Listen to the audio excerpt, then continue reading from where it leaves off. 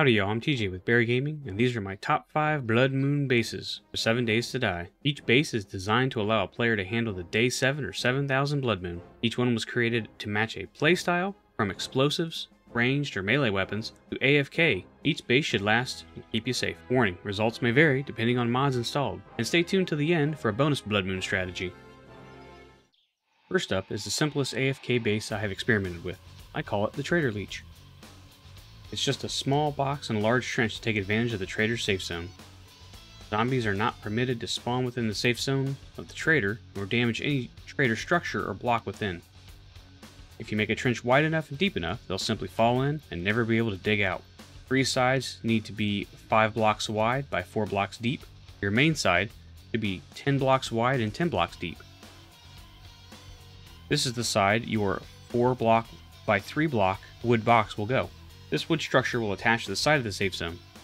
As long as the trench bottom and the bottom of the box, 7 blocks separate, then zombies can never reach you, and cop and demo zombies explosions will never affect your base. You must be very careful in building the box, as the structural integrity will be pushed to the limit. The simple box is enough until the vultures show up, and then a turret of some kind will be required. Now you may ask, don't you need to worry about cop or radiated vulture spit? Here's the fun part, you don't. They can't see you, and they don't spit. I have tested this base at max settings and you'll survive. Just don't expect any XP out of the deal. Low risk, no reward. Next is the Stairway to Hell. Another simple design that does require a bit of leveling to acquire the necessary equipment to function. You need access to a generator, engines, wire tool, and the electric fences.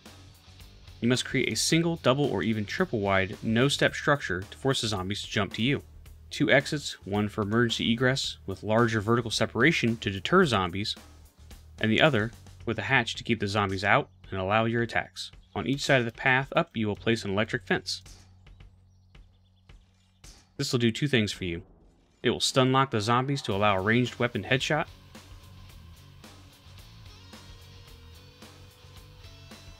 and it will cause a bit of damage to each shocked zombie. This will weaken them so that at the top, a well-placed melee attack can finish them off or knock them down. This base design is for the player who wants the action and loves massive XP gains. Just be sure to adjust the base size for your Blood Moon strength. Wider for larger numbers, and higher for harder difficulty.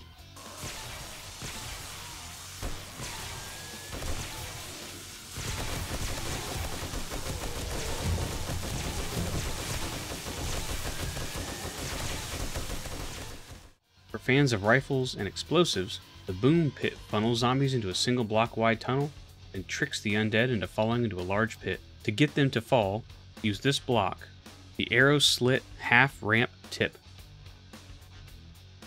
and offset them a bit low. This makes them think they can make it, but they won't.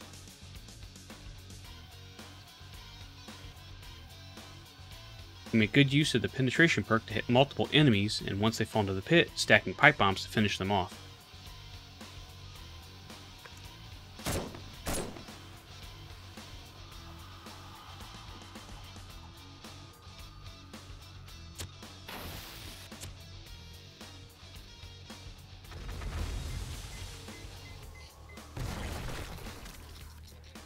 There is one weakness to this design. Due to the AI of the zombies, they will tend to hit the support structures of the base more than any other in the video. They'll be ready to rebuild, and some defenses to make them think twice.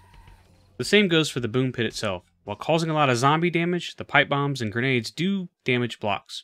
This will eventually add up, and repairs will be needed, but it's a fun base to use. A lot of players, myself included, tend to take over a building and remodel it to suit our needs. This conversion makes use of strong POIs and a few elements. Select a point of interest with a minimum concrete construction, ideally steel. The POI must have limited roof access and be of sufficient size to give the player time and area to handle the blood moon desired. Use the block step design to slow and guide zombies to the top of the building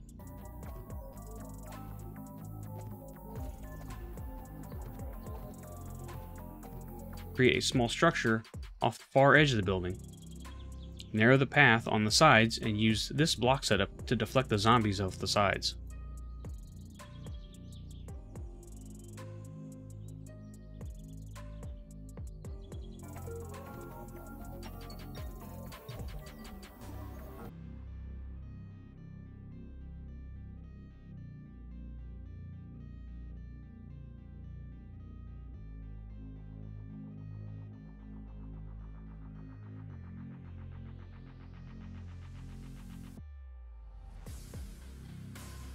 A small opening to catch the jumping zombies and drop them through the bottom.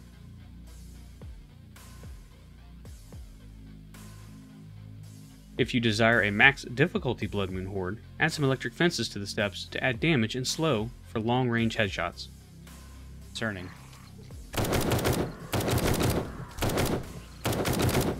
It's fast too, I don't know what it is. Is that a bear?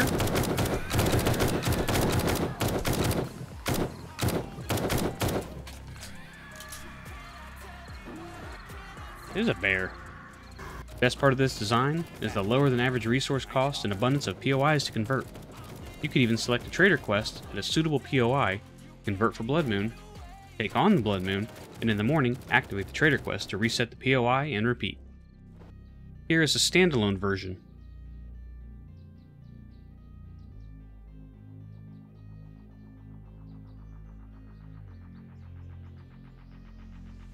And here is a Savage Country converted for use.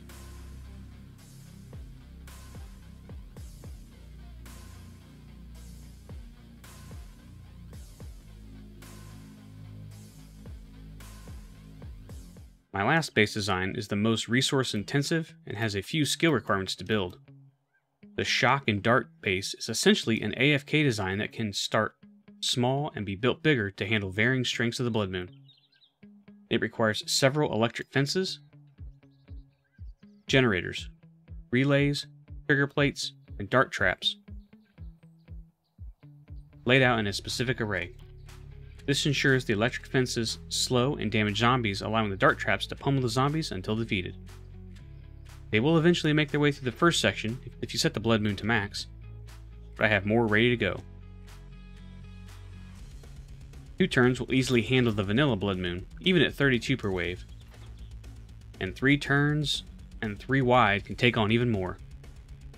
This will require a massive investment in iron, clay, and parts, but with advanced engineering, the costs are a bit lower and you get a lot of experience. If everything is set, it would be an XP-filled AFK Blood Moon. This base requires the most upkeep, and several thousand darts will be required each Blood Moon, as well as electrical parts and forged iron for repairs.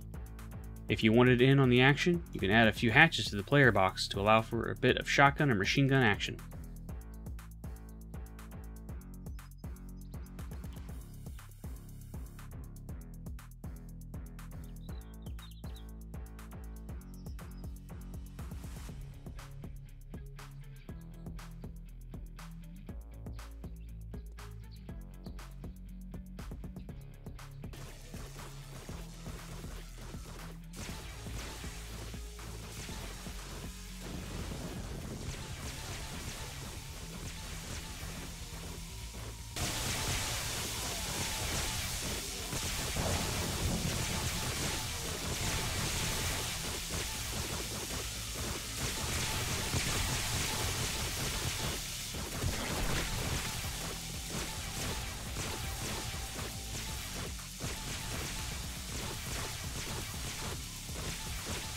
Bonus time. For all you adrenaline junkies like myself, there's a way to handle the Blood Moon without all that building. A no base Blood Moon is a very real option. With the right perks, weapons, skills, and boosts, it can be very fun. Here's how to prep.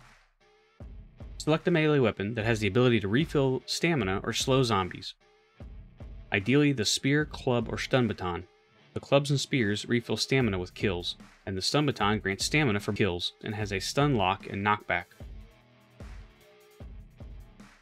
At least two ranged weapons. I suggest the shotgun and the machine guns. The shotgun has massive damage output and dismemberment, and the machine guns for large magazine capacities and high rates of fire. These will keep the zombies down and the player on the move with the machine gun's perk. Light armor with the most mods and best quality you can get your hands on Focus on clothing to increase running speed, like the college jacket. As for perks, invest in your chosen melee weapon's speed perk to increase your speed of blows, the desired melee and ranged weapons attributes, increasing damage and stamina gains, light armor to decrease stamina drain, run and gun, you don't want to slow down while you're reloading, Physician, you need meds and may need a lot of them. This also adds a 10% chance for instant kill with a stun baton maxed out.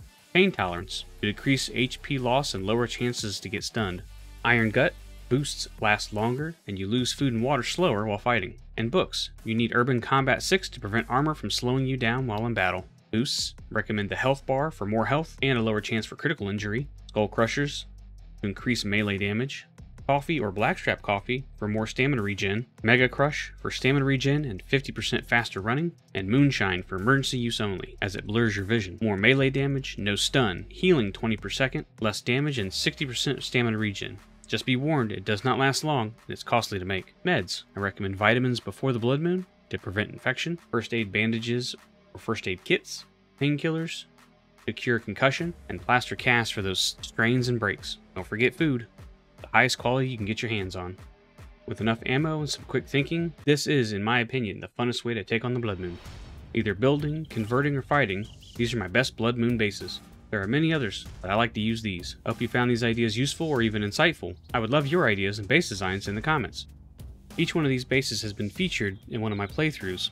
Check the description for the links down below. Be sure to subscribe, and until next time, laters.